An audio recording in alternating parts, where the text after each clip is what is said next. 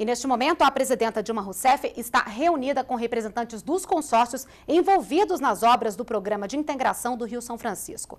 A repórter Daniela Almeida está em Juazeiro do Norte e tem outras informações. Daniela, boa noite.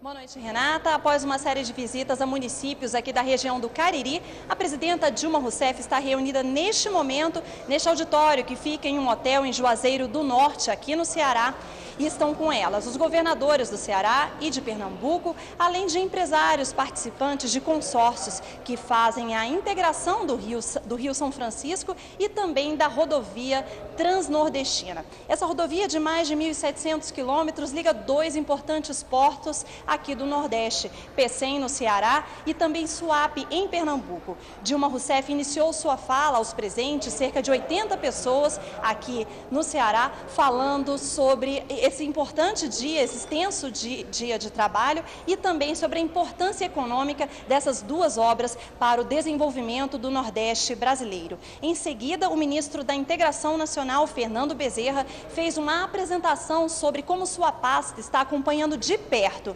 todos os trabalhos dessas duas obras e que vai cobrar metas e prazos diretamente dos empresários. Dilma Rousseff vai pernoitar aqui em Juazeiro do Norte, neste hotel, e amanhã bem cedo segue para o município pernambucano de Salgueiro. Lá ela vai visualizar como estão as obras de um trecho da Transnordestina. De Juazeiro do Norte, no Ceará, Daniela Almeida.